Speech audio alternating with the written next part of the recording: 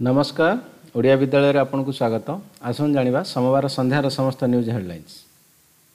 ରାଜ୍ୟରେ ବିଭିନ୍ନ ଜିଲ୍ଲାରେ ପ୍ରତିଷ୍ଠା ହେବ ଚଉତିରିଶଟି ନୂଆ ଅଦାଲତ ଏକୋଇଶ ଦଶମିକ ଦୁଇ ସାତ କୋଟିର ବଜେଟ୍ ଅନୁମୋଦନ ଓଡ଼ିଶା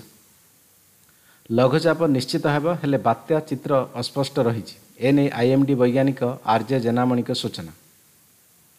ସମ୍ଭାବ୍ୟ ବାତ୍ୟା ନେଇ ବିଏମ୍ସି ପକ୍ଷରୁ ପ୍ରସ୍ତୁତି ଅକ୍ଷୟ ତୃତୀୟା ଭେଟି ଚାଷୀଙ୍କ ଆକାଉଣ୍ଟକୁ ସିଧାସଳଖ ଯିବ ଦୁଇ ହଜାର ଟଙ୍କା ଓଡ଼ିଶା।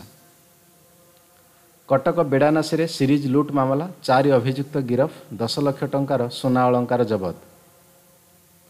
ଆସନ୍ତାକାଲି ପବିତ୍ର ଅକ୍ଷୟ ତୃତୀୟା ରଥ ନିର୍ମାଣ ଅନୁକୂଳ ସହ ଏକୋଇଶ ଦିନ ବ୍ୟାପୀ ବାହାର ଚନ୍ଦନ ଯାତ୍ରା ଆରମ୍ଭ ହେବ। ରାଷ୍ଟ୍ରପତି ନିର୍ବାଚନ ପାଇଁ ପ୍ରକ୍ରିୟା ଆରମ୍ଭ ହୋଇଯାଇଛି ବିଜେପିକୁ ସମର୍ଥନ କରିବେ ନବୀନ ଓ ଜଗନ। ମୋରାରୀ ତନ୍ତୀ ଗୁଳିକାଣ୍ଡ ମାଷ୍ଟରମାଇଣ୍ଡ ସମେତ ଚାରି ଗିରଫ ସୁନ୍ଦରଗଡ଼ ଏଥର ଗାଁରୁ ଶୁଭିବ ସମାଜ ପରିବର୍ତ୍ତନର ସ୍ୱର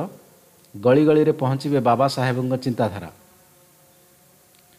ଏଥର ମହାସମାରୋହରେ ପାଳିତ ହେବ ଇଦ୍ ସାମୂହିକ ନମାଜ ପାଠ ପାଇଁ ଚାଲିଛି ପ୍ରସ୍ତୁତି ଭଦ୍ରକ